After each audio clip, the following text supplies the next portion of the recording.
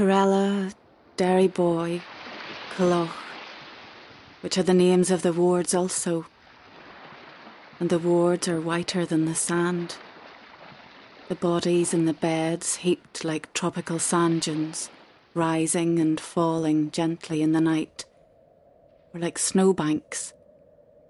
On a good night, everyone is quiet and they sleep well, and you get snow blindness as a nurse, seeing just the white outline, the tundra of sheets as they dream, and your thoughts drift off.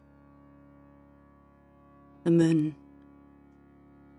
The moon is white, like one of the fresh white sheets, round and drying in the sky, or looking down on us, gifting us the word lunatic.